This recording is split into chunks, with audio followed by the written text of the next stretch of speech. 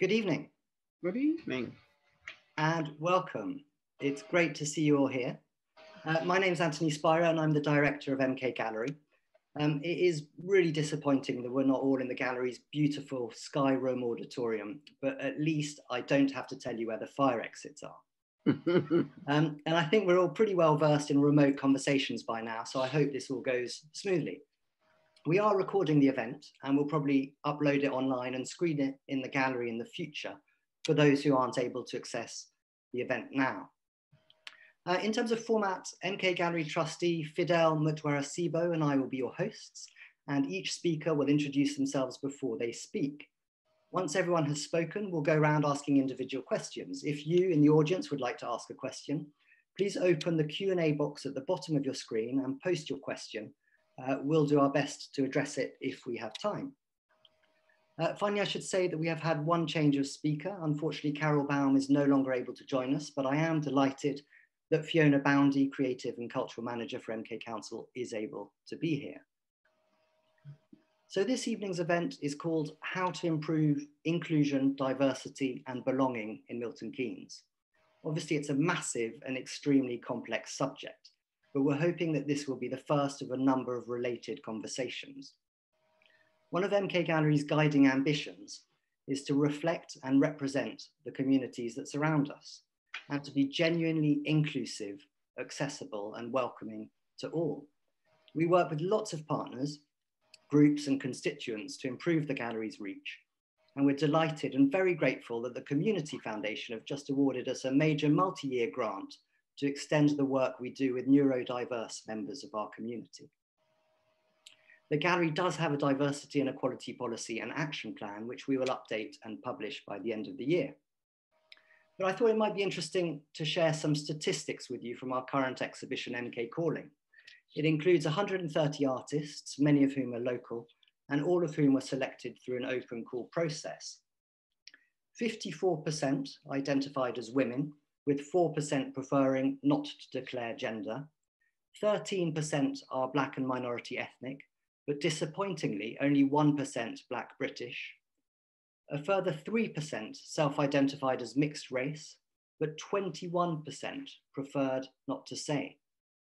And 11% indicated a disability, with 42% preferring not to say. So this is incredibly useful information in helping us to identify what we need to improve most urgently. But it's also striking how many people are reluctant to declare an identity. So I think this is also something that we need to explore. Tonight's conversation is focused on racial and ethnic issues. We suggested that speakers may want to identify key areas of concern, whether related to health, policing, education, hate crimes, employment, or representations in the media, for example. And of course, that's a big ask for a short amount of time, but we're especially keen to hear about changes that tonight's speakers would like to see happen.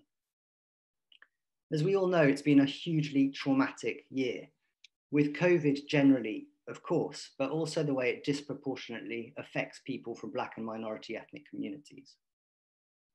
The murder of George Floyd has also caused shockwaves across the globe and propelled the Black Lives Matter movement into the spotlight. And we mustn't forget the recent Windrush scandal in the UK, amongst many other events. The dumping of the statue of Edward Colston, who built his fortune through the slave trade in the River Avon in Bristol, is totally unforgettable. It was a powerful symbolic act that has accelerated a huge amount of reflection. And the stories of exploitation and pillaging behind many of our institutions, including the contents of our museum collections, urgently need to be recognized and taught. So you might assume closer to home that a new town like Milton Keynes would be disconnected from this histories. But I only recently learned that Campbell Park, the wonderful city park, which our beautiful auditorium looks out over, is connected to the legacy of slavery. Jock Campbell, after whom the park is named, was a visionary social reformer, but his family made their fortune in British Guiana, first off the back of slavery and then cheap labour. After the abolition of slavery in 1833, the British government decided to compensate slave owners for their loss of property. So the Campbell family were awarded the equivalent of 13 million pounds in today's money by the British state for over 2,000 slaves. As a complete coincidence, MK Gallery will soon be presenting a major exhibition by a brilliant artist who was born in Guyana, and we hope this will provide an opportunity to explore this story in more depth. The, the, importance of learning these histories and to be aware of how our societies have developed is of course essential. Black History Month itself is controversial 20 years on, it shouldn't still be necessary.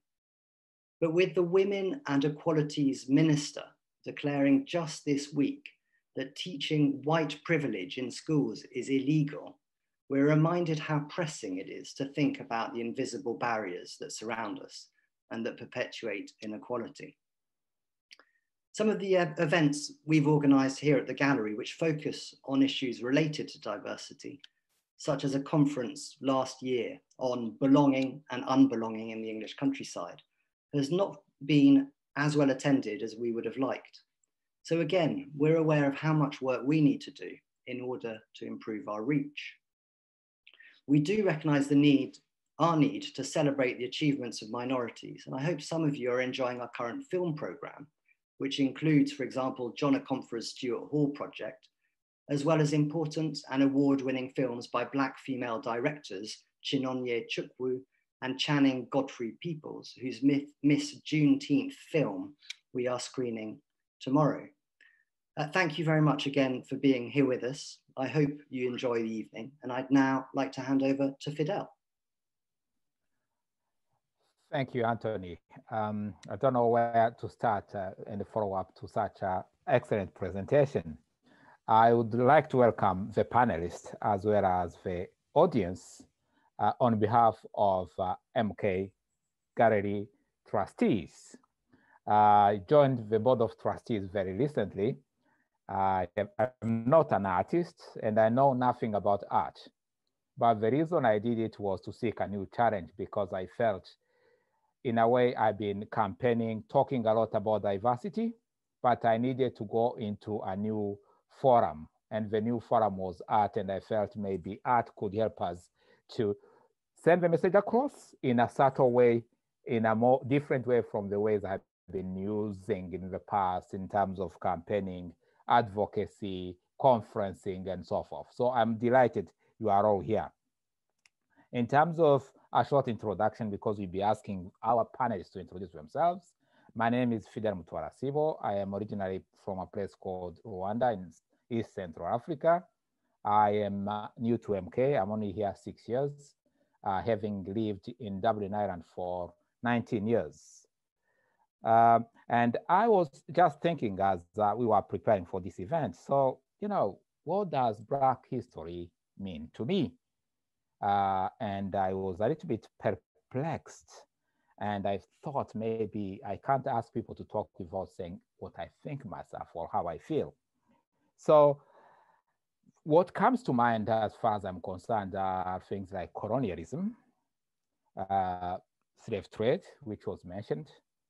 I would also add something very recent, which is neo-colonialism, because uh, Africa may not be colonized, uh, but it may still be part of uh, uh, suffering from neo-colonialism on top of that, we know there is uh, a lot happening in terms of migration, as well as modern day slavery, which we talk about all the time uh, when there are some scandals. And I'm thinking more in terms of the plight of people are trying to come in from Africa, trying to come in through Lampedusa, Italy, and so forth. So there are still a few things which we need to think and uh, inquire about. I am also interested in equality, diversity, and uh, inclusivity. But more importantly, I'm interested in the whole area of equity because being equal does not necessarily imply having equity. And I'm very sure the panelists will be reflecting on that. And it was an irony that this month of October marks also uh, the death of two people who are who are my uh, sort of uh, uh, role models when I was young, when I was growing up in Africa. Uh, one of these is a guy called Thomas Sankara, who was president of Burkina Faso, who was actually killed in a military coup on uh, October 15th in 1987. Uh, he may have taken power by force, but he was a good leader. And unfortunately, it was taken from us too soon. I think he would have written the history uh, about Africa and her people. I am also thinking of a guy called uh, Samora Machel, who used to be president of Mozambique, who was killed tragically in a plane crash in South Africa in uh, in 1986 in October. I mean, the list can go on and on and on and on. So we have had our heroes, we have had our villains, but in actual fact, we need to celebrate the people who have made a difference and encourage others to follow their footsteps and raise up and highlight the fact that, uh, uh, you know, Africa can smile because uh, we have seen so many stereotypes and images of people who are trying to raise money sometimes depicting some images of, of Africa, which are difficult for us to take, even those of us born in Africa and who grew up in Africa. So what am I hoping to get from this event? And then I will finish. I'm hoping that you'll give us some ideas and insights as to how MK Gallery can contribute to this important debate about belonging, about who belongs, who is here, I'm hoping you can tell us how can engage with those communities even more than ever before, because the st statistics which uh, Anthony shared are a call to action. So we can't rest and say we are done, but we need to do more.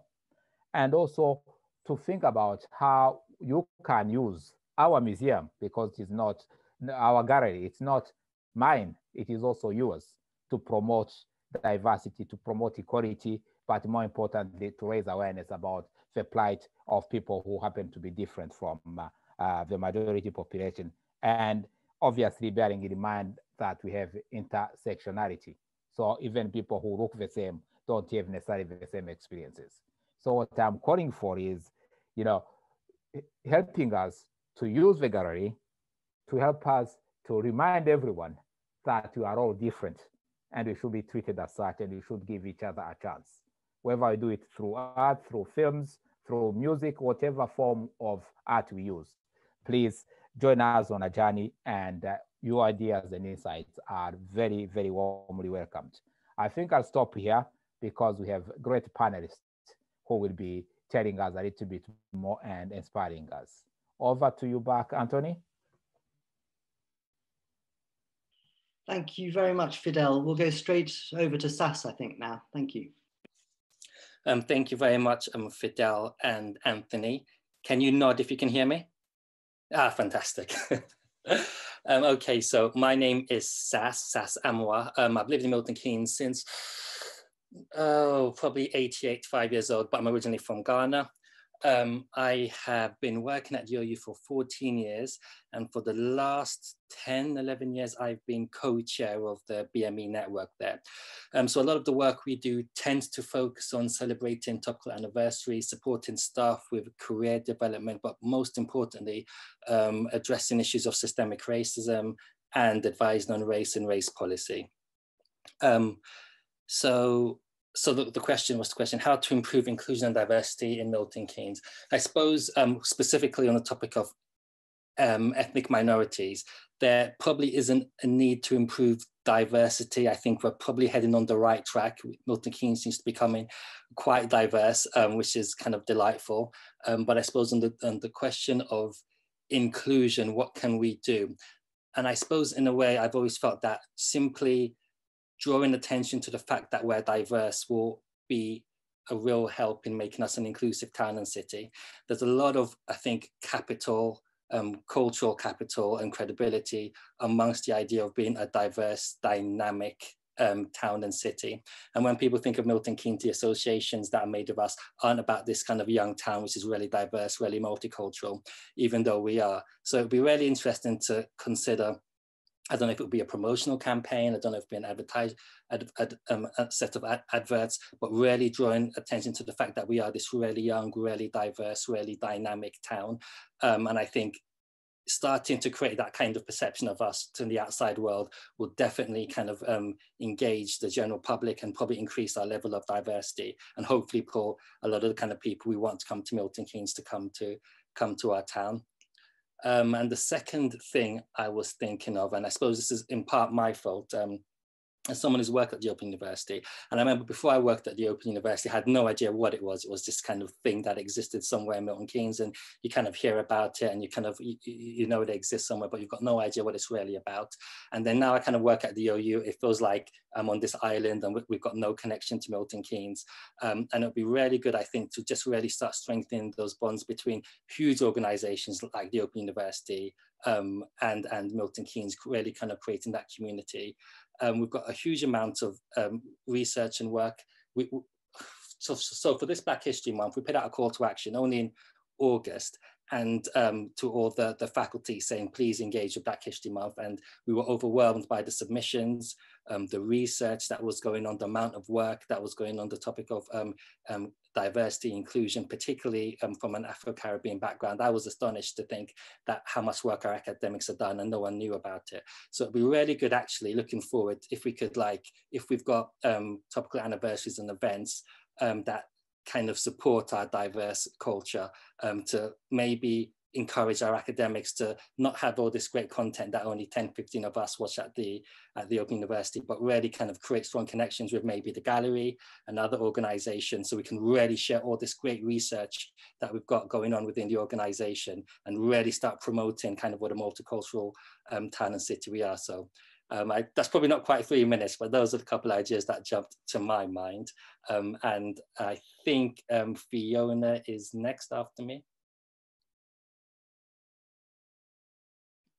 Hi there. Oh, I thought I was third, so that's very good you said that. Thank you. There's me not, not reading things properly. Um, hi, my name is Fiona Boundy. I'm the Creative and Cultural Manager at Milton Keynes Council, and thanks so much for for inviting me this evening. I actually wanted to start from a, with a quote um, from a strategy, our strategy, the creative and cultural strategy, which reads, um, culture is the way we see ourselves and our place in the world. It's how we live our lives, how we appreciate and understand the lives of others, and by trans- try harnessing the transformational power of culture in all its forms, we will help to address the city's current and future challenges. By sharing our cultural capital throughout the city, we will connect and engage our communities. Young and old, building confidence, encouraging cohesion, improving health and well-being, and empowering them to take the lead. As an open city built on migration, with one of the fastest growing and most diverse populations in the UK, we will work towards a city that's really, truly inclusive and one whose cultural offer reflects and embraces our diversity. Now, that is a vision, and it's something that we really really, really want to work towards delivering. But I think one of the key things that sort of, sort of on the other sort of flip side of the vision the challenges. And by no means are these comprehensive, but sort of looking at the work that we do and the work of our sector, we really identified that the sort of following challenges are the ones that we want to work towards addressing first and foremost. So originally Milton Keynes was known for its open, welcoming hands. I think the gallery's gates are a beautiful uh, sort of ever, beautiful pictorial evocation of those, those opening hands, the very sort of famous city symbol. Um, but increasingly, we are struggling to offer opportunities for social integration and cultural opportunity. The city's current cultural offer does not represent or reflect the diversity of our communities. Our current cultural audiences don't reflect the diversity of our communities. The cultural workforce at every level does not reflect the diversity of our communities. So those were a set of challenges combined with our vision. And in 2018, we wrote a discussion paper. Now you all might think, good Lord, you know, it's very local authority, we'll write a strategy and we'll write a paper. But what we wanted to do with the discussion paper was really create an opportunity to take a hard look at how our arts and heritage sector engage with the communities of the city that, you know, where they actually live. So we commissioned the Arts and Heritage Alliance Milton Keynes to propose a programme of research and this was a very, very in-depth very hard look at our sector. It involved a, a two-year program of work. And in very, very recently, we've published the findings of, of that process. Um, it's called Rethinking Cultural Inclusion and Diversity, a call to action for Milton Keynes, which has currently been published but launches officially on the 16th of November at an event you're all very, very welcome to join. And I think, you know, it sets without within this report, it sets out comprehensive comprehensive findings from a very sort of in-depth process. And I think one of the key and most important elements of that work was all the discussions with our focus groups. And I think the findings from those focus groups absolutely combined to create a really, really powerful cause, call for action, a cause, you know, to, to absolutely make that change. Reading through the summary findings, again and again, you see regular sort of ideas, themes, and, and challenges that have brought out. I just wanted to read and swiftly pull out a few quotes from those focus groups. A person needs to feel that there is something offered for them, something to say, come here. You often go to something by word of mouth. I want to see different faces. If someone from my community is going, I would go, but I don't think I'd go by myself. I would feel quite alienated and I wasn't welcome. And again and again, when you read through, and it's there, there's a, there's a lot of words, but this this absolute need to feel welcome and that the place that culture spaces are open and available to people. But I think one of the things obviously we have the report and all the findings there are, are, really really important to us but alongside that there's a series of recommendations and we absolutely will work with our partners and stakeholders over the next five years to, to deliver them the first one that we're going to deliver is a cultural apprenticeship and training programme where six young people from milton keynes from diverse diverse backgrounds will be given the opportunity to um, take part in a bespoke training program that will really give them the skills and the opportunities to engage with the cultural sector and hopefully then go on to employment. Now, this is just a drop in the ocean. There's, there's so much that needs to be done. But I think for me, the focus on young people, local young people, and giving them the entry point to the sector was a really good place to start. And if we get it right and we can secure the resources, we will build on that work and really look forward to working with you to deliver this. I mean, that's one only one. There are many. And again, I, urge you come along to our event on the 16th, learn more, and, and hopefully we can work to deliver what is a, a really inspiring and, and fantastic set of ideas. Thank you. Good evening. Um, I'm Dr. Amina Easat-Daas. I'm a lecturer in politics at De Montfort University in Leicester, but I'm a very proud um, resident of Milton Keynes. Um, I specialise in the study of Islamophobia, particularly the ways in which it impacts women, but I'm also particularly interested in ways in which we can counter Islamophobia. Just a couple of weeks ago, my book was published and it looks at Muslim women's political participation in France and Belgium. So it gives you a taste of what I'm interested in. Um, the basis of what I'm going to talk about, I need to define what is Islamophobia. Um, I would describe it uh, much like the British APPG on British Muslims, that it's a form of racism that racializes Muslims. It perceives them as one homogenous group. And as such, anything related to Muslims or perceived Muslimness is often othered or excluded from, from mainstream society.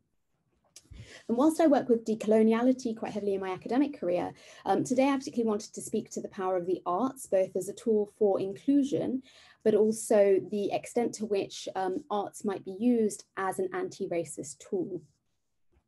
And in creating anti-racist work, it, this is directly creating belonging and inclusion, promoting diversity within our city uh, and more broadly. I'm currently engaged in research to this effect. So I'm currently examining and investigating Muslim-centered and Muslim-led festivals as a means of countering Islamophobia. The research is entitled Creatively Countering Islamophobia Through the Use of Festivals in the City. And the rationale for this work stems from pan-European work that I've previously been engaged in that looked at best practices at countering Islamophobia. And um, many experts often cited that arts were a way of engaging on an emotive level with the wider society, but also placing Muslims and Muslimness within society.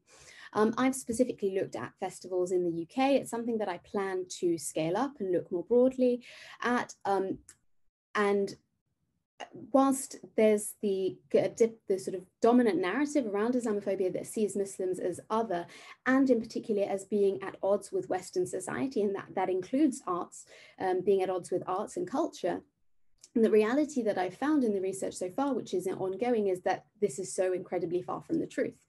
Um, Muslim-led and Muslim-centered festivals in the UK are as diverse as Muslims themselves, and they employ arts-based, arts-based methods ranging from a literature festival in Bradford, film and photography at the Manchester MacFest, or uh, the MKIC, which is the Milton Keynes Islamic Arts and Culture Association, which uses things such as uh, examining more traditional art forms and music. Um, the, the organizers of these festivals that I spoke with often cited the need to counter Islamophobia as being among their principal motivations for organizing such festivals. And their evidence shows that these festivals do work to counter dominant narratives and dominant perceptions around Muslimness. So what for MK?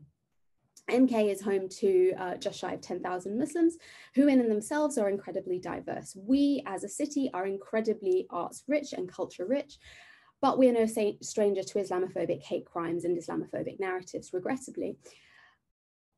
MK Gallery and via collaboration with existing organizations in Milton Keynes has the potential to champion such art, art that exists to create a sense of inclusion and belonging for these diverse communities within Milton Keynes, and arguably this can be scaled up across the country.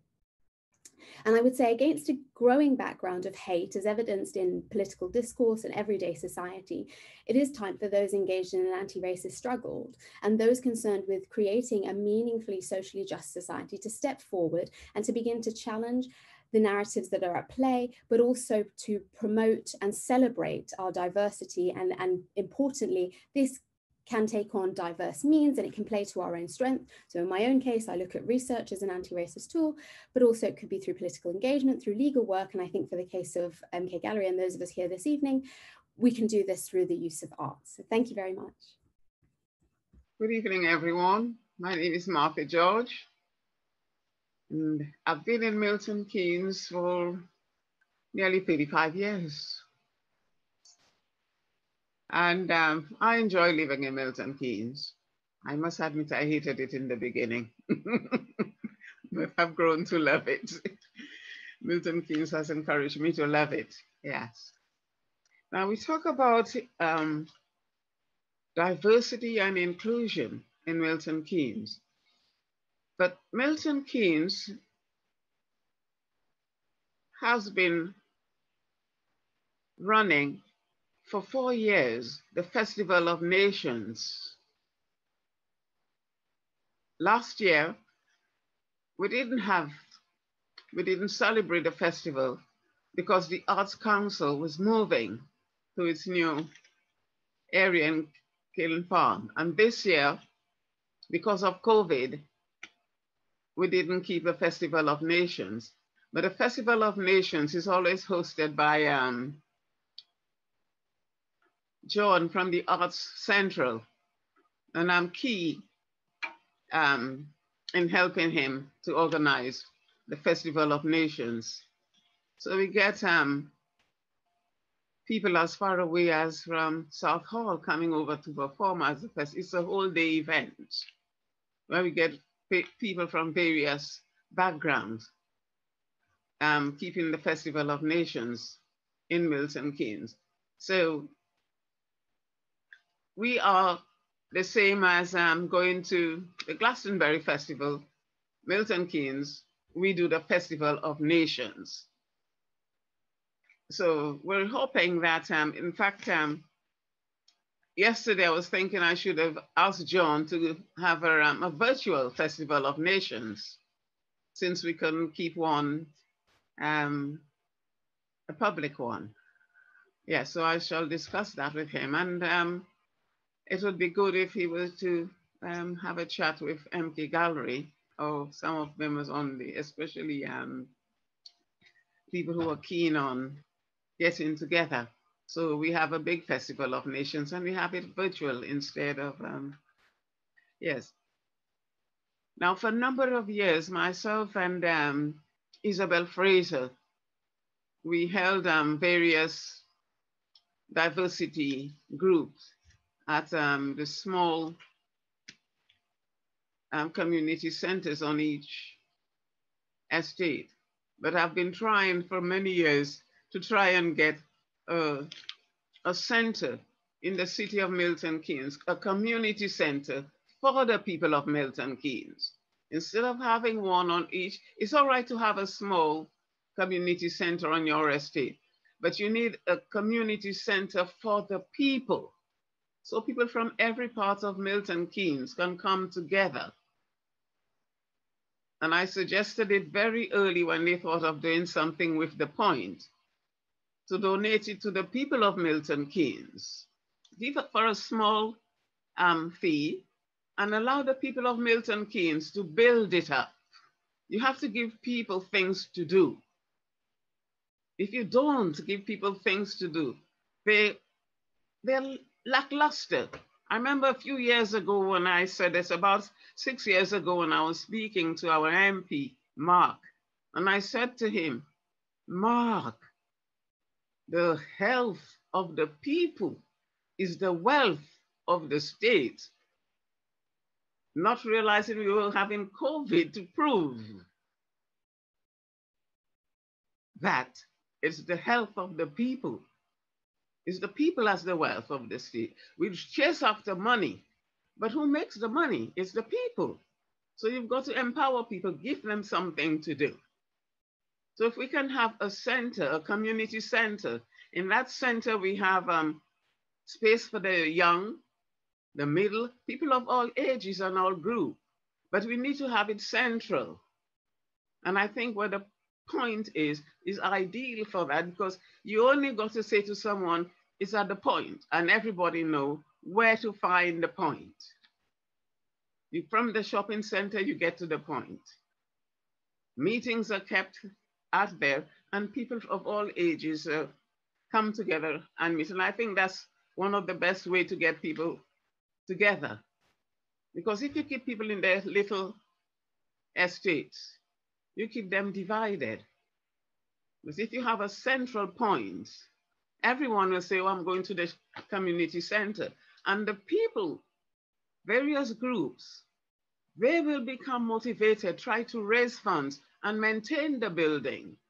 Because among the people, you'll have carpenters, masons, electricians, and they maintain the building. Instead of spending money out of getting other people, the people of themselves will maintain the building. But what we need is a center, a community center for the people of Milton Keynes, instead of little, you can have your small ones, but also you need that main center to bring people together. I think that's one of the best way for cohesion. Mm, you have indoor games like darts, whatever it is. And um, yes, you, people will learn computing. You, you pick up talents from various people by bringing them together. The youth will meet with the aged, the aged meet with the infants, and um, people coming together, you'll be surprised at what um, the outcome will be. Mm, yeah. And the BME network set up in Milton Keynes, I was instrumental in setting up the BME network in Milton Keynes. And um, unfortunately, I couldn't, um, once it was set up and I was satisfied it was going, um, I had to withdraw from, from because I was involved in too many too many things. And um, my health was beginning to take a toll. So uh, I'm pleased that the BME network is still um, on track. But the um, Festival of Nations is something that um, we ought to be engaged with. So I could have a word with John from the Art Central, and then we'll see how we can have a virtual um, Festival of Nations. Show the world what we can do. We are special. Thanks. Yeah. Hi, everybody. Um, so, um, so my name is Roz. I am a youth worker at Milton Keynes Council, and I've been a qualified youth worker for 19 years, and um, practically all of that time has been in Milton Keynes. And um, and I just wanted to kind of give you a flavour of what I do and how it um, is around helping to improve diversity and why we need to improve the, uh, the inclusion um, in Milton Keynes. So um, as I said, I'm a youth worker and um, my role is around citizenship and democracy. And um, that's really mostly now centered around the Milton Keynes Youth Cabinet, which I will explain for those who don't know um, later on. But to give you a bit more flavour about who I am, I moved from the north, from um, from the north in South Yorkshire, uh, when I was about seven or eight years old, and um, it was those early experiences of racism that made me question my ethnic identity. Um, because of that, because of the racism I saw, um, experienced, um, my family experienced, I think that's made me who I am today. It's made me um, want to advocate, it's made me want to question um, and teach more inclusion and diversity um, on, a, on a wide spectrum. Um, but in terms of answering this question, in terms of how do we improve Milton Keynes um, in this area, I go back to my, my profession um, education. Um, and education for, for me as a youth worker is identified by both informal education and uh, formal education. So looking at primary school and secondary school in the main, because that is the age group that I have worked in predominantly, it's um, that those those um, establishments lay the foundation for um, for knowledge and understanding without that, there's nothing to build on. And so when we're looking at knowledge and, and understanding, we need to include race and religion and belonging in that. Um, schools, my students that I work, the young people that I work with tell me that there needs to be more than just the transatlantic slave trade. There needs to be more than just one lesson about Judaism or um, Christianity um, or any any religion.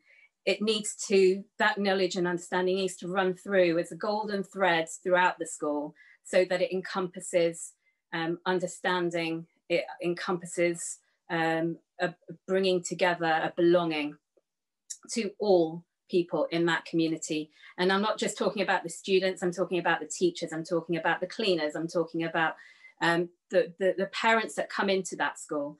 Everybody has a part to play in um, in improving that community.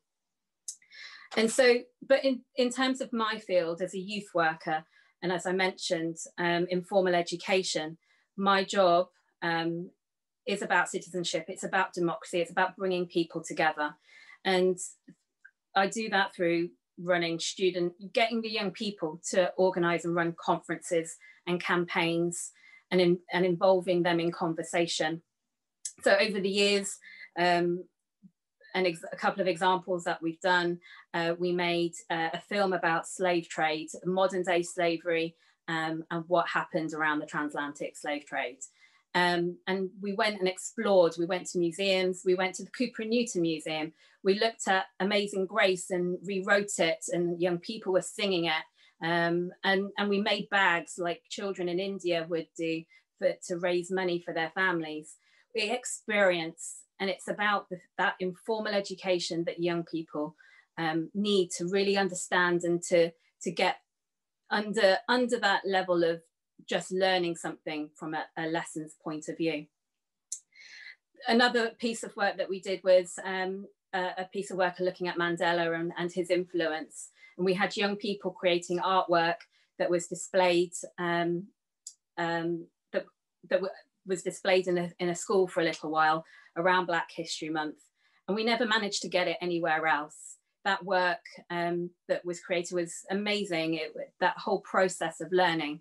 And that that's the sort of thing that youth, youth work and informal education tries to do.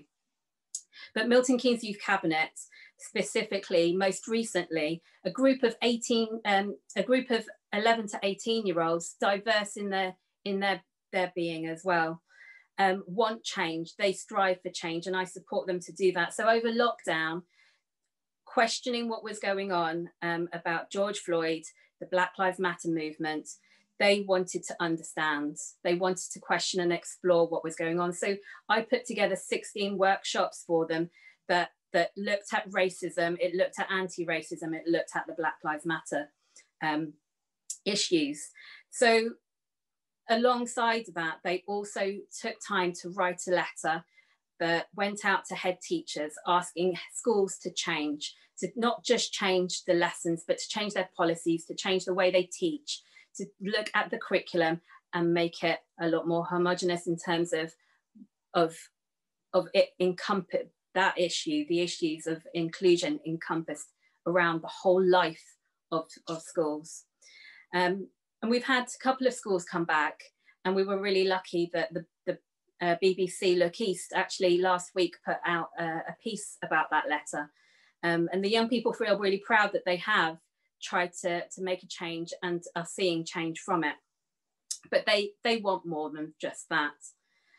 Um, so re reflecting on all of this though, I think that there are three, three areas that we need to do um, in Milton Keynes. We need to embrace our fear, um, the fear of the unknown, the fear of feeling silly, the, the fear of not understanding, and not sweep it under the carpet and say, oh, well, it's okay, it doesn't matter. We need to, we need to embrace it. We need to um, persevere. And when we don't have uh, meet our targets for who's coming through the doors or how many people are taking part in this, that, or the other, we need to, to um, not just stop and go, well, it doesn't really matter. We need to persevere and go, well, let's do it again, but we're going to look at it and do, do it differently. And then we need to also encourage those who don't take part. Look at what are the personal barriers? Why aren't they taking part in these things? And, you know, Milton Keynes at the, when it first was created was had community workers. They had community workers that worked out and met people as they, they came to their new home. They embraced them, they brought people and communities together. And we need to do that. We need to bring those people together and break down those barriers. And the cheesy part of my my, my last thing of, of three words, um, we need to listen. We need to listen and decision makers, people in power need to listen too. We need to learn from each other and no one is too big or too high powered to learn and we need to effectively love each, uh, learn to love each other and embrace the, our, um, embrace that and, and understand that we all have feelings and that we all bleed. Thank you. Thank you very much indeed, Roz. Sorry to interrupt Hannah, but just to say thank you very much. We've, we've received one question so far, but please do keep the questions rolling in if you go down to the bottom of your screen and click on the Q&A and we'll try and address some of your points uh, in a moment. Hannah, over to you. Hello, everyone. My name is Hannah Olarewaju. I'm a creative and I work in the music industry. I work for a major major record label. Um, that's what I do. But I also have a hand in a lot of different projects surrounding music and the surrounding creativity as well, based in London and based in Milton Keynes. I've worked with the Milton Keynes Gallery to put, well, I founded the music room, but I worked with the Milton Keynes Gall Gallery to put it on. Or I haven't since COVID started, of course, but you know, just reminiscing. And um, yeah, I'm a creative who likes to put on creative events for those who live in the local community. So the question is, how to improve diversity, inclusion, and belonging in MK. And like the rest of the people on this panel, which have been amazing so far, um, I have a lot to say. But to condense that all in like three to five minutes, you know, I'm going to try my hardest. So bear with me. I think one of the main things we need to do is to change the attitude of the people that live in MK my demographic, my as part of the young people in MK, um, there is this attitude that there isn't a lot going on, that there is no, there's no real creative elements to Milton Keynes, and like almost like there isn't a black brand, there isn't a culture associated with Milton Keynes that you'll be be able to go outside and tell other people like, oh, have you been to MK to do so and so? We don't really have that yet. I'm saying yet. But yeah, I feel like the main thing we need to do is to change our attitude, especially towards the excluded creatives on the outskirts, and find active ways of engagement and involvement. That's what that's the kind of like the foundation of my idea. We need to be active in involving other people that are not on the forefront of the creative scene in MK to come forward um, and be creative. And we need practical and deliberate steps in order to do this. And um, I, I, like to use myself as an example. As someone who moved to Milton Keynes from London, um, it was a very big culture shock. First thing is that shops were closing at like 10 o'clock. I didn't really understand what was going on coming from a 24 hour city. Um, but another thing that really kind of opened my eyes was just the how that we didn't have the same resources. I came from a I came from a community where there were so many activities to go to, especially as a, as a child, to then come here as a teenager and not really find a lot of things to do unless you create it yourself. So I guess that did empower me in secondary school. I was the music person. I sang, I put on, I formed a music group with a friend of mine, and we did a lot of those things. But when it came to leaving secondary school, there wasn't a lot of guidance in where to go creatively. There was a lot of where to go academically. So I followed the route of going to university and, you know, pursuing that passion and becoming more academic, and somehow found myself in IT. Um, but after that, after two years in IT, I literally quit my job because it wasn't for me. And a year later, I found myself back in music and I work in the music industry now and I'm not leaving it. so um, talking about this stuff and kind of working in theory is very important because it sets a good foundation and it's a very good first step. But in order to lower the risk of it just becoming a tick box exercise, something that we just do because we have to do, I feel like we need to make sure our strategies and our steps forwards are intentional. And I use the word intentional because that obviously means to do things with intent, but it also means to do things with meaning. And to be, in order to answer this question of how to improve, we need to first understand why we need to improve it. What is the end? What is the end goal? What are we trying to get to? So what I've come up with is a series of whys as well. And one of them is to enrich the quality of lives of the people living in MK. We've seen the effects of merging cultures together and how that enriches a community, how that makes just life a lot better, fills a life with color, right? So that's one of the reasons why we want to improve inclusion and diversity in Milton Keynes. Another thing is that it firstly establishes but also improves the relations that we have amongst different groups. If um, many different groups, many different um, ethnicities and cultures are throwing events left, right, and center, are doing a lot of active things in the community. It just, you know, it, it entices us, the rest of us, to want to go and engage and be involved as well because we see that they're being active. So that's another reason why we need to improve. And another one is that it provides um, awareness and access which is so important because you can't attend things if you don't know they're going on. You can't be involved in things if you don't know they're going on. So that's another reason why we need to improve diversity, inclusion, and belonging in Milton Keynes. So then how do we do this? I mean, this is now us stepping into the practical element of what we need to do in order to achieve those great things that I've just mentioned. And as a promoter, as I mentioned before, I ran, I worked with the Milton Keynes Gallery to establish a brand called the Music Room. And through the Music Room, I put on um, music events, live music events for local and established artists, just for them to have a place to perform. And one of the probably the most compliment I received whilst doing that was that they had never had access to a place to perform before in Milton Keynes, especially one that suited their community. And I just mean this in the urban space, well, you know, Black and other minority ethnics, um, but it was very inclusive to the white community as well. We all just kind of shared this um, understanding and belonging that we just wanted to perform, we just wanted to be around live music, and we just wanted to socialize in that space. So the music room really helped to kind of build this culture um, amongst the young musicians and other music lovers in Milton Keynes that they finally had a space and they finally had a home. And I really hope that we'll be able to continue that after, you know, everything calms down. so um, one of my biggest challenges and struggles first starting out was finding a space and finding a consistent, consistent, uh, and finding a consistent space because what I wanted to do was I wanted it to turn into something bigger than who I was and for it to grow. Do you know what I mean? Um, but it was one of my main struggles. So finding Milton Keynes Gallery and firstly establishing a relationship with Simon and then with Nikki and then the, the wider group, um, it was an amazing opportunity for me, one that I really cherished because it kind of boosted me up to establish and find my potential in myself as a promoter and also bring everybody else that wanted to perform along with me. So this is kind of the basis of what I believe is a key objective. And this kind of ties into what Martha also said before. We need access to spaces to be creative. If Milton Keynes Gallery didn't give me that opportunity, no, the music room would not be here. They trusted me, I hope, but mainly gave me the support to just do what I needed to do to enrich my community. So I'm almost pleading with venues and establishments alike to open up their spaces and engage with local grassroots creators and innovators, people that actually have the desire to put on events in different, you know, different uh, in different arts, different creatives. It doesn't just have to be music.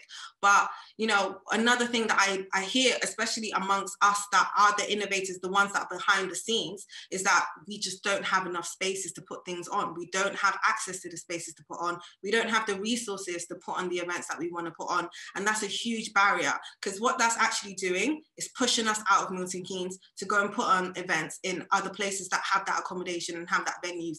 However, I know that there are potential for that to happen in my local community. I live five minutes, 10 minutes away from Milton Keynes Gallery. I live right in the central. And there's so many spots that I identify every day to be able to utilize that I feel like we're not utilizing. So that's that the basic um, the basis of my idea. I feel like we need to kind of have an accountability with those kind of venues to you know, actively go out into the community and encourage people to come and use their venues, especially when it's not really being utilized to the full effect that I feel like it can be. And, you know, engage creatives to use their spaces. Because then in doing this, we have open discussions and dialogues with all the different types of people in MK so we can see what we're really made of doors that are closed do not get utilized and we need to be able to utilize every single venue every single space in order to truly show the creativity and culture that milton keynes has. Thank you.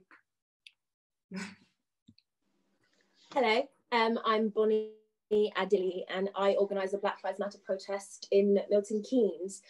Um, i'm so glad that Roz you went before me because like i completely agree with everything that you said in terms of like I so believe that education is the key to like getting us out of this like massive social rut that we found ourselves in. And I am um, the strange thing about when you organize a march, people then start referring to you as an activist. And I am completely led by heart when it comes to these things. And my heart at the moment, um, when I first got the email from Anthony, I was thinking, I actually don't know exactly what I want to say because I put on the march because like my heart hurt. Like that's that's the reason why and, and we needed an, an outlet for that frustration and for that hurt that like all i could think about was the fact that i've lived in milton keynes since christmas eve 2008 and unfortunately that's where a lot of my um, a lot of issues to do with identity and otherness started to creep in going to secondary school um, in milton keynes. And that is because of children will be children and teenagers will be teenagers but also because of teachers. And I understand that teachers are not paid enough and they are very, very, very, very busy and there's that's a very difficult sector to work in. But at the same time, I feel like what needs to happen at the moment in this like driving forward, trying to add stuff to the curriculum, making sure that um, the what students are being taught is a much bigger variety than what, what, they're being taught now, I think it's also very important to have compulsory unconscious bias for teachers. Because what happens is if you are a teacher and you are teaching something that's wide and varied while still holding a lot of unconscious bias, that's not going to be massively helpful to the students because you're then going to filter whatever's behind there in your unconscious into the work that you're teaching. And I think that that can be extremely dangerous. I remember being um, in English classes and reading of mice and men and feeling like like I was a complete alien because my teacher was constantly saying the N word, obviously, because that's in the text. Um, and we were learning about how women were being treated in that in the context of that time and how black people were being treated. But I didn't feel safe in that. There wasn't education in that. I just felt othered. I just felt like my teacher saying the N word, my students, that my colleagues and peers are looking at me. Um, I now feel uncomfortable. And because I feel away, me voicing the fact that I feel a little uncomfortable, I'm then dismissed by my teacher because he doesn't understand how that feels to be a black woman in a room and to have somebody using the N word and not knowing exactly where your power sits like the power that you have as a 15 year old, which is essentially nothing when you're in a classroom with, with a teacher, that I was then dismissed by my teacher because he didn't understand that his unconscious bias filters through the way that he he taught me and didn't take me into consideration at all. So I think like that is something that that is so desperately needed is unconscious bias for teachers because my my father is a teacher and he's one of the good ones and I know what a massive difference he makes into he's made into the students that he taught in um, Milton Keynes' life. People still stop him now in Asda's and Tesco's like, oh my God, thank you for this and this and this. So I know how important a job it is. And I think although teaching is such a hard job, that ego needs to be put to the side because then we can start the process of actually unlearning because the unlearning is is what makes like the teaching of diversity like worth it. There's no point filtering new things through um uh what am i trying to say? There's no point trying to teach new things and um culturally important things that mean a lot to people if you haven't worked on yourself. And i think that should be provided like by your institution not just you having to unlearn as a person which is what that you should do but the institution should provide courses for teachers to um, unlearn their unconscious bias and not just across race across gender and classes and because we've seen the classes in this country just just from yesterday and how little um, a lot of people in in like our, our two MPs voted to let children starve today. So like we know that there's issues um, in within Milton Keynes. And aside from that, I'm also an actor. Um, and I, at the moment, am in the process of trying to create like mini groups. So I, I think that you do everything uh, better through arts and through like expression, as, as, I, as I'm hearing that everybody else is as well, which is incredible. Um, that I'm trying to come into contact with the Deputy High Commission of Barbados who wanted to do like history lessons and we're trying to do that and add some acting in there so that like we can take children from the ages of 7 to 11 of Milton Keynes and create like essentially mini drama clubs which are also like um, conjoined with historic learning about more than just the transatlantic slave trade and like your actual history and like how important where you come from is and the contributions that your country, which they don't teach you at school, the contributions that your country has made um, to, to not just Britain in the in the world world, but also like your cultural significance in the place that you come from. So yeah, that's me. Thank you very much.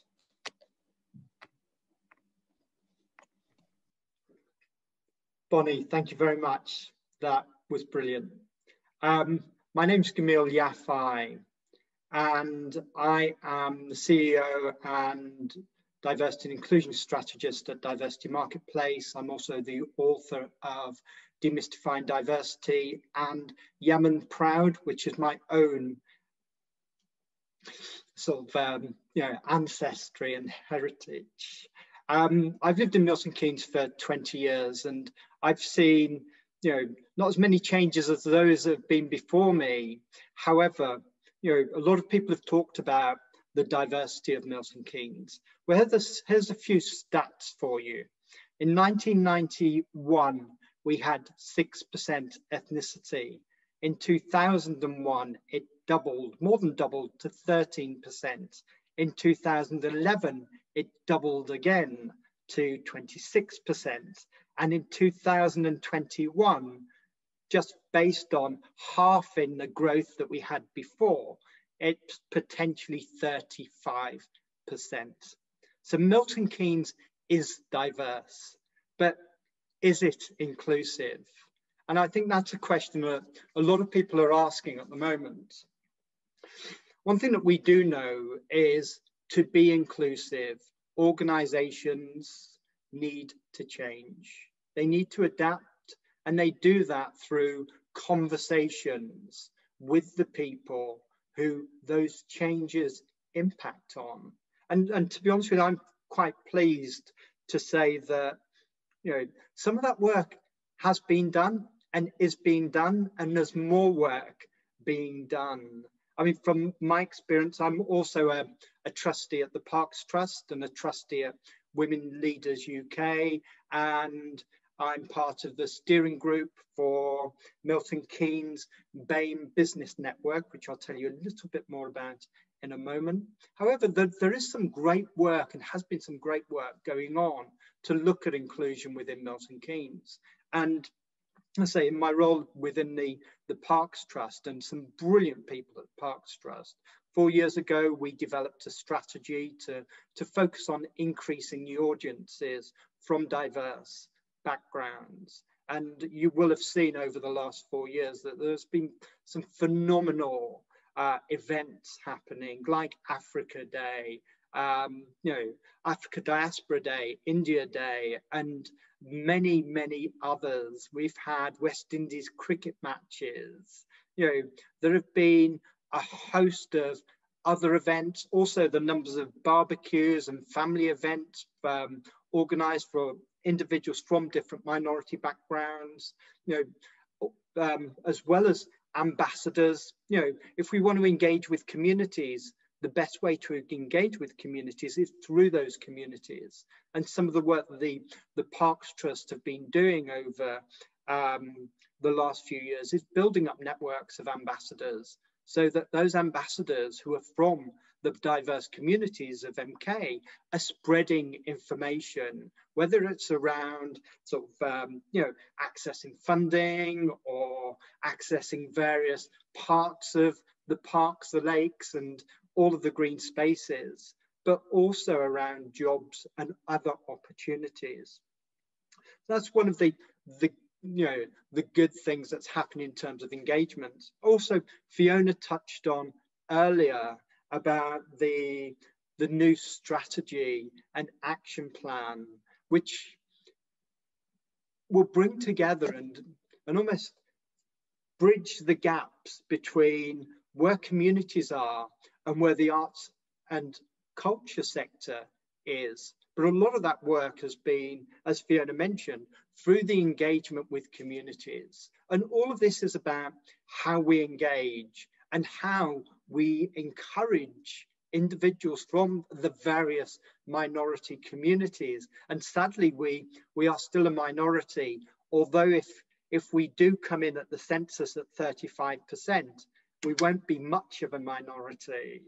Um, there are other things happening. I mean, there's recognition within Milton Keynes that Black, Asian, and minority ethnic businesses have been have not been supported in a way that they they should be.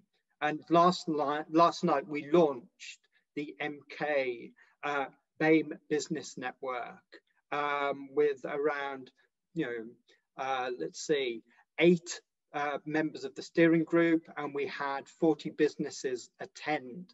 And these are businesses that want to grow, want to develop, want to tap into other businesses within MK.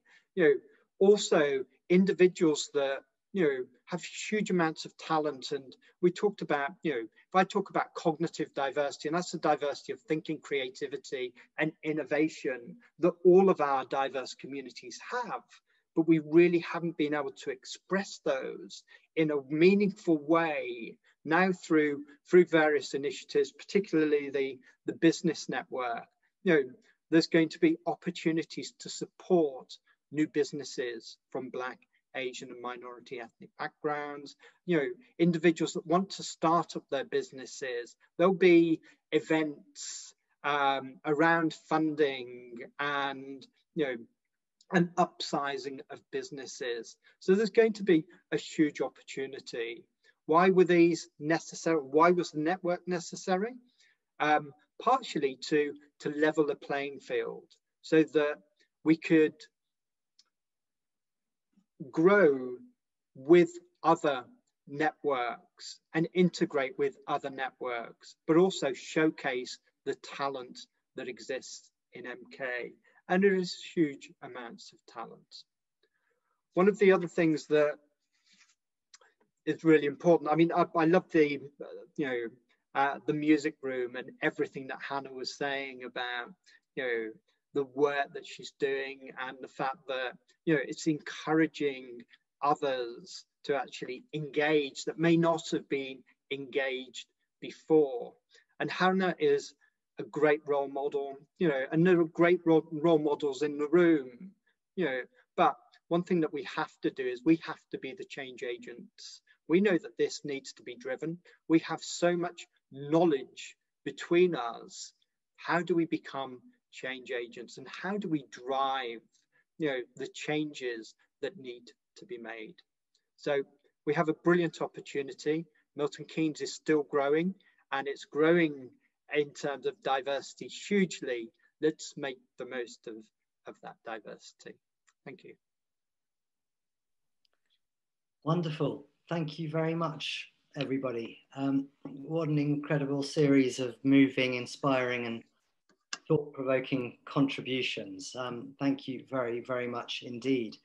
Um, we don't have a huge amount of time, um, so I'm not going to ask everybody uh, a question. I might just ask a couple of questions, and thank you to the audience for, for, for putting your comments and questions through. Some of, some of them I think will get back to you directly outside of, uh, outside of this meeting, but I did have um, you know, a couple of questions I'd like to ask. And Fidele, if you'd like to come in and make some um, observations and ask some questions yourself, of course, please do so. But maybe I can just start with a question for Sas, actually, maybe uh, because you were one of the shortest contributions um, on the evening. But I also wanted to ask, because you've clearly got such a um, huge experience, and I think you said you'd been on the inclusion team at the OU for 10 years.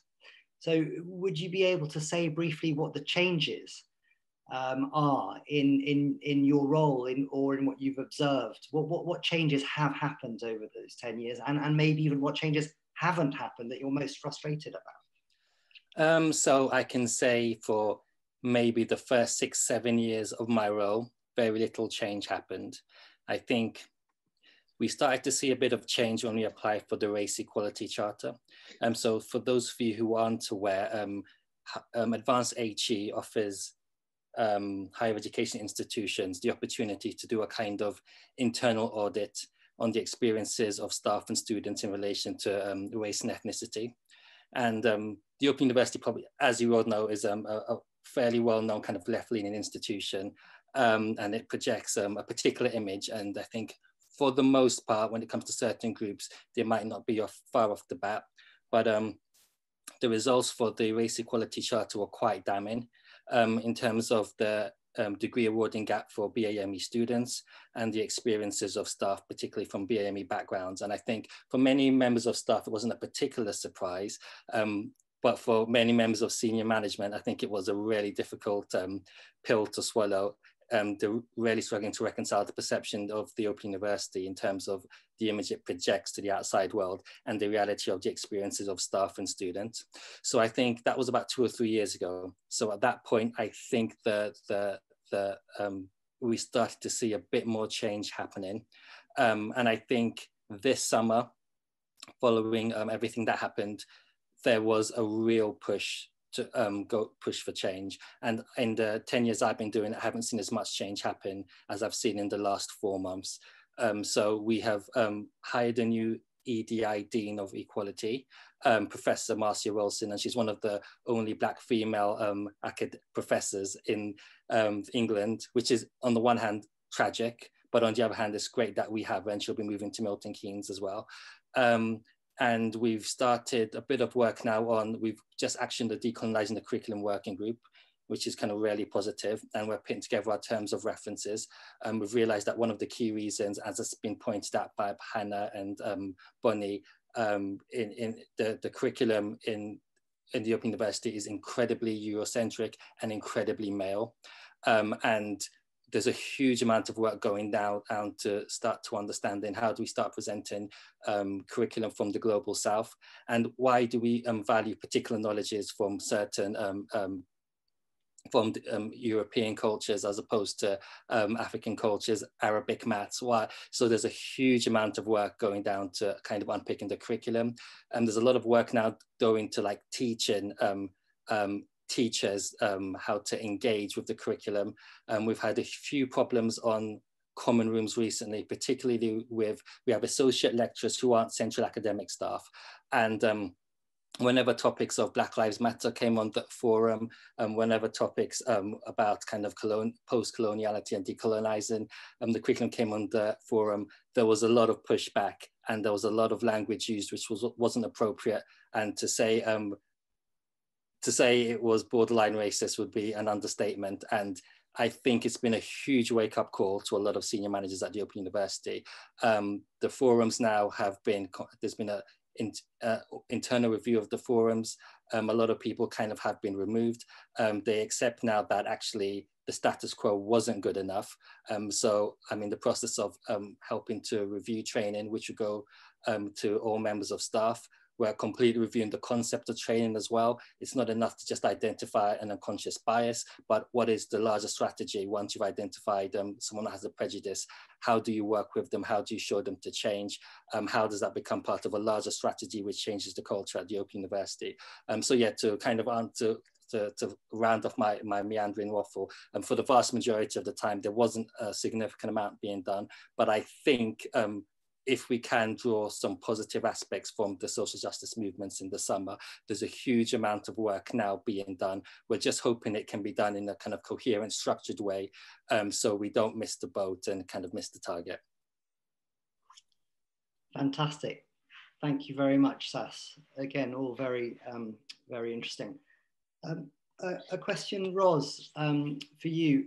I, I'm really pleased we haven't talked much about COVID um, this evening um, which is a bit of a change. But, but I wanted to ask you, with all the work that you do with young people, um, maybe I should say our, our young, we, have got a group of young people that we work with, and I've heard that um, they refuse to do more digital programs with us. What they really wanted was to be, you know, in, in the space physically together. And wanted to ask you, how has COVID um, affected your work with young people in Milton Keynes?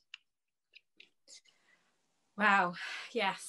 Um, oh, um, so the youth cabinet, um, which would normally have um, about 20 odd active members coming to meetings, went down to about 12 um, at our last meeting. Um, young people don't want to be in front of a screen. and and I don't want to be in front of a screen as as a as a as a teacher, um, as someone who facilitates learning, I it's all about being active with them and um, and and I've just finished a session before this came and uh, most of the time the computer doesn't want to connect so one of them couldn't even connect. Um, video goes off and on. They can't I always have my video on so that there is a connection. A lot of the time they don't want their video on so they'll end up talking over each other and and and the core groups, the core um, who have been coming to the, the their campaign groups, have really been striving to to get through that. And when they weren't at school and when they wasn't they weren't having as much schoolwork, they actually wanted to meet every week. Um, when and, and we've gone back now to meeting twice a month in terms of the um, action groups, but they are so desperate. And when we we recently met, um, three of them met um, together so that we could take part in a national um, a national event um, for the uh, British Youth Council's um, annual AGM. Um, and they just found that so so powerful for the fact that they could the three of them with myself could come together and hook up to that national meeting and be together. And it actually had a major effect with um, one of the policies that they wanted to put through, which actually was about um, um, racism. Um, and it meant that that policy went through because they were together. If they weren't together, they wouldn't have been, that, that policy just wouldn't have gone through, um, which generally to most people will, won't really mean anything. But to those young people, they were like, this is exciting. We, we're, we're making a change and and that infection just like I this is like Christmas to me. I'm I'm back in front of your people, um, and and they they want it. And um, the other two groups, the camp, um, the climate change group, sent this this evening an email to request so that they could plant trees in December. Um, uh, outside um, that they, they've got some they they, they're working with a, a, local partner. They're going to plant four apple trees in a local estate and some hedging as part of their campaign. We're waiting to find out now whether or not we're going to be able to do that um, and, and physically meet because at the moment we're not allowed to physically meet. None of my colleagues are allowed to physically meet young people unless it's one to one. So over COVID, every single birthday, I have taken a birthday package and I've knocked on their door, sang happy birthday, either made a cake, bought a cake, got given a cake um, to have that interaction because I'm desperate for it. And and for me, they they're they're like an extended part of my family, um, and they're all very important for a while. They they interact with me, um, and what they do is just as important as well. So I'm not sure if I asked answered your question, but um, that young people are desperate. They don't want to be in front of a computer screen. Youth workers don't want to be in front of, in front of a computer screen, and we want to get back to some sort of normality as much as we can. Um, so we're hoping for change. They're hoping for change. Our Feeling Safe group, who wrote the letter to head teachers, um, want to do um, an event in uh, in January with the MPs, uh, police, um, and that's going to be online. But we need to use the civic officers to do that. So they've written an email that's going to go out on Monday, um, and um, and we'll hopefully be able to a small group of them, a few of them together, to be able to meet to to keep going and keep pushing their campaigns and and keep making changes. Fantastic. Thank you very much. That was very um, moving, actually. Um, thank you, Roz. Hannah, um, can I ask you uh, uh, to say a little bit more maybe about the, the music room? And, um, you know, uh, thanks to Simon, I, I, think he's listening to us as well. It was, it was great that you uh, worked with him in the beginning and, and um, that you're having conversations with Nikki. But you, it was very inspiring what you were saying about um, needing spaces to, to do things. And the gallery absolutely wants to be like a, a platform for, for people to to um, uh, to perform and, and, and test things out and and and all that. So we're we're very keen for the music room to come back and and and to grow. And I I wondered if you um, could say a little bit more about how it evolved, uh, maybe what some of the highlights were for you, and, and, if you've got some thoughts about what direction, any changes you might like to happen, how it might expand, how we could um, uh, yeah, how it could be developed in, in, in the coming months when we're allowed to be together again. Yes, certainly, and uh, try to condense it. I'm just looking at the time, um, but it essentially started from a place of lack, which I think a lot of businesses and and stuff like that normally stems from. Um, I started my career in music in 2017, and as a journalist, um, I was very much grassroots. So I had to do a lot of late nights, a lot of you know, just being on the ground, I had to be there. So I was very much at every venue in London, chasing after musicians, trying to get an interview. Um, and that kind of just made me realize that I was traveling, you know, every week, twice a week sometimes to London to watch music and watch live music. And I started to get really frustrated, like, why can't I just drive 10 minutes to go and you know do that as many of my peers in london had the luxury to do. So after really just mulling over it and just start, starting to get really tired of traveling i um you know just come up with this idea like you know if they can do it i can do it too. And literally started going on this hunt around milton keynes for a venue. And the first venue I actually did the music room in was in a bar. I don't think it's here anymore. It's called Missoula. And um, that was the first venue. And there was only about seven people in attendance. And the seven people were my family and friends. So it was nobody new, um, which was, you know, would have been disheartening if it wasn't for the fact that um, I knew that this was needed in MK. I, need, I knew that people needed it. And so I just persevered, um, kept on going, just doing a lot of like smaller community halls, doing it in in-house, you know, just really trying to keep it going until finally there was an event that a joint event that I did with a woman called Thara Papula, who is um, based in London now. But she had an event called, um, ooh, I forgot what it's called. Um, ooh, Soapbox. That's what it was called. I don't know if you guys remember Soapbox. Um, and we did a joint event together for Black History Month, I think in 2018. And then that established the relationship I had with the gallery, met Simon. And then from then we started to just like do one every single month. So the music room was started as a venue, an environment for local musicians to come and perform. Simply put, and um, we literally grew from seven to 70, like every month more and more faces started coming out more and more musicians wanted to get involved and this year 2020 was supposed to take us to the another level. We were supposed to start engaging more with established artists and start putting on more intentional, direct shows based on what the artist wanted and start to feed in more art, more culture, just, you know, to really make the music room a place that people wanted to go to. And then unfortunately, the thing that we do best, which is, you know, social cohesion and bringing people together was almost outlawed. And so we had to take a break. Um, and during that, I did try to digitalize TMR. Um, I call it TMR for short, and um, create a podcast that we can have conversations ongoing about creativity in, in Milton Keynes and, and, music in Milton Keynes. Um, but however, I was going through my own personal struggles, dealing with COVID, dealing with other issues that I was going through. And creativity really takes a hit when you're going through personal issues.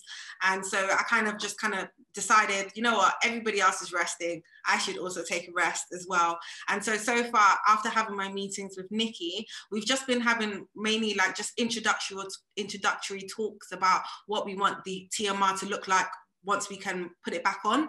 Um, nothing's concrete as of yet, but fingers crossed that soon we'll be able to make more of a concrete decision. Yeah. Fantastic. Thank you so much. That's, that's really brilliant. I look forward to, to, to, to, watching and being part of the next uh, next stages. Um, unfortunately, we're not going to we're not going to be able, as I said before, to go um, to talk to everybody again. But um, I wanted Gamiel, if you might um, say uh, say something about intersectionality, and then Fidele, maybe you would um, come in and, and, and, and say a few remarks uh, of your own. Okay, intersectionality is one of the terms that is going round and being circulated at the moment. Um, and you could say some people get it, some people don't. But the whole concept of intersectionality is, is about seeing the individual and seeing the multiple identities that people have and the different diversity strands and how they interlinked and intersect. For example, you know, a woman isn't just a woman. you know, she will ha already have an age. She will, she may have a religion, but she will have multiple identities, and those different identities, you know, impact on her life. You know, you might have a woman who is black, and if you think about inequalities in society. We know that women are sort of, you could say, disadvantaged. We've just got to look at the gender pay gap. We know that Black women are even more disadvantaged, but also Black women experience prejudice as well as white women, but different types of prejudice. So what you have is you have an individual who is seen as or who is being uh, treated unequally by not just one set of people, but by two sets. And if that woman just happens to be black and has a disability, that's another set of people. And if she has kids, then that's another set of people. So when we look at intersectionality, it's it's the differences that different people experiences with multiple identities. And, you know, but also the brilliant thing about intersectionality is the fact that all of those different experiences give those individuals added sort of knowledge, added experience, ways of navigating around different systems because of the lived experiences that they have. So when we talk about the diversity of creativity, innovation and thinking, you know, a lot of women who have been disadvantaged because of their intersectionalities and the different identities that they have will have added knowledge of doing things differently, of challenging the status quo, all of those things that society needs and has to have in order to you know, challenge the difference and challenge the status quo. So quite basically, intersectionality is just the different identities that we, well, that we all have, but some people suffer because of it. Thank you very much, Gamiel. Fidele. Thank you, Gamiel. Uh, it's uh, probably my uh, uh fault for uh, bringing the issue up, but I was observing what was being said in the chat room. That's the main reason why I felt we needed to address the issue. So thank you very much, Gamiel. So in terms of my uh, sort of final remarks before uh, we hand back to Anthony to say thanks and close the session. Uh, one, obviously, as a trustee of MK Gallery, I'm delighted we have had such a interesting and thought-provoking event. So the question is, what do we do next? We have to pause, think about all the comments, plus all the questions which came through, and then think about doing something and making sure that this is a beginning and not an end, because it would be very sad if we just stop here and then we are done. It's not good enough. The other thing which I thought I, I, I should raise is uh, uh, I saw a program on television a few months ago, and it had an intriguing title, which was You Can't Become What You Can't See. So that was a very profound message for me, and it is something which obviously came up when people are talking about young people, unconscious bias, the curriculum. I think there is a lot of work we need to do to make sure that we all feel part and parcel of institutions like MK Gallery, bearing in mind our inter intersectionality. I think I'll stop here and pass the baton on to Anthony to say thanks and uh, close the session. Thank you, Anthony. Thank you very much, Fidele, and, and, and thanks everyone for your brilliant contributions. I, I really have a huge amount to, to, to, to think about now and, and we'll be in touch very soon because as I've said before, I hope this is the first in a whole series of related conversations. Um, but I did all, also want to say um, that we are aware of what is being called cultural taxation, which is the weight of responsibility put onto people from minority groups mm -hmm. To deliver advice or to act as spokespeople. So I, I would like to express my deep gratitude to all of our speakers tonight for their generosity in agreeing to participate. Thank you very much. And we're especially grateful to Fidele who we very much look forward to working with to make sure that we improve all of our processes and performances. And I'd like to close the event with a quote chosen by Liz Gifford, who's MK Gallery's chair, who unfortunately couldn't be with us tonight. But it's a quote from an article titled, Are You British Enough? By the writer Nikesh Shukla. And it goes, integration is about us standing together in our individuality, observing what we have in common and how that makes us stronger, and what makes us different, and how that makes life more delicious. Thank you very much indeed. Enjoy the rest of your evening and hopefully see you all again soon. Thank, Thank you. you.